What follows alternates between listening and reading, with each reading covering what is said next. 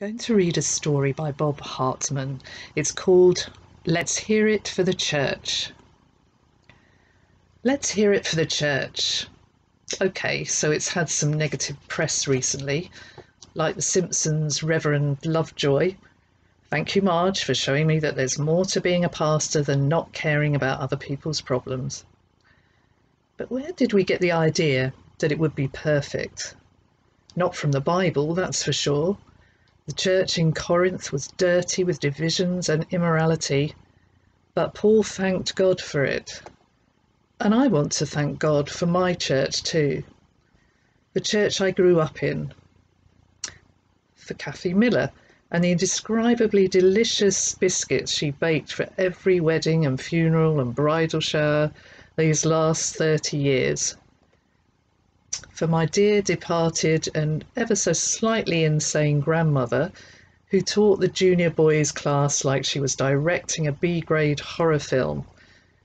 That's right, it was the firstborn who died in the final Egyptian plague. And which of you boys are the firstborn in your families? And for the whole lot of them who held us and cried with us when my dad passed away a few years ago. There are more that I could name, and plenty that you could name too, who were there just when you needed them. So let's hear it. Let's hear it for the church. And let's hear it for the bride. Okay, so she gets shot down sometimes, like Uma Thurman before she slipped into that bright yellow jumpsuit. But where did we get the idea that following Jesus would make us popular not from Jesus, that's for sure. If they persecuted me, he said, can you expect anything better? No, he dresses us up and prepares us and makes us beautiful, not for the world, but for his eyes only. And that's a different kind of beauty. It's the beauty of a church in pain, arrested and beaten and imprisoned, in China and Africa and across the Middle East. It's the beauty of a church with principles that knows right from wrong and will not bend with the changing winds of social and political convention. And it's the beauty of the person sitting next to you as well, who hangs in there, believing and praying and trying to do what's best when much of the rest of the population laughs and makes fun and scratches its head and simply doesn't get it. So let's hear it. Let's hear it for the church and let's hear it for the bride. And let's hear it for the body. Okay, so it's a little out of shape, a bit like the before pictures in the latest diet fad ad.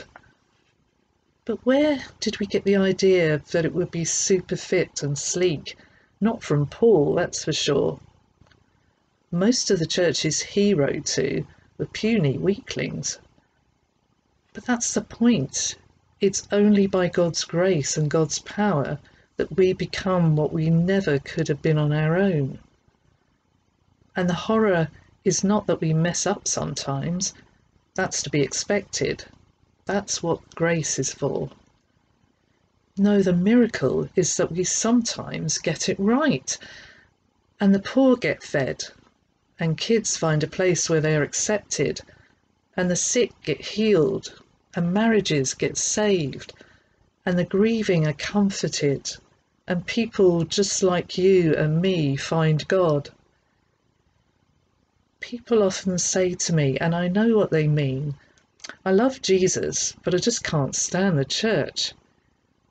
And what I want to say, and what I ought to say, and what I'm saying right now is this how?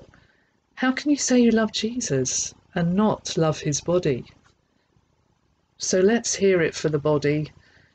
All fingers and thumbs sometimes, but the body of Christ nonetheless.